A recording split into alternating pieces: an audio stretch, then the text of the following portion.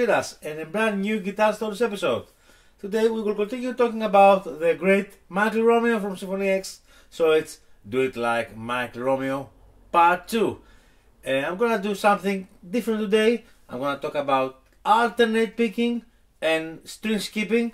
So now I will perform a cool lick in the style of a great Michael Romeo by applying those two techniques. Let's go straight to the lick. The tempo is 190 BPM, 16th notes, 4 notes per beat.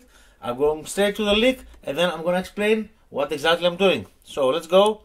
This is the backing track. It's F sharp, Aeolian, and let's go. One, two, three, four.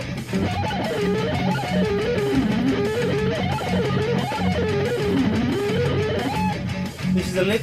I'm gonna play one more time at full speed.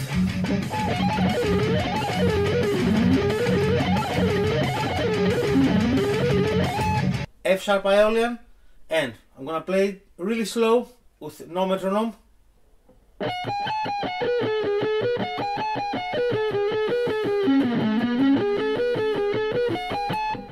One more time, slow.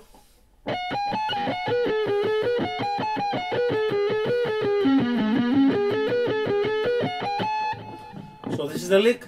There's no point to explain uh, further uh, what I'm doing. You can just download the tab. The link is under the video and just do the lick. I am playing alternate picking strictly down up down up and I'm playing the first box of the F sharp Aeolian by using string skipping on the strings high E, G and A.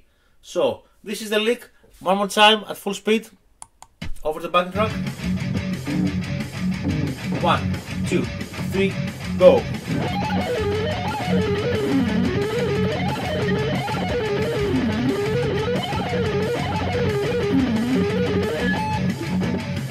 So this was the lick.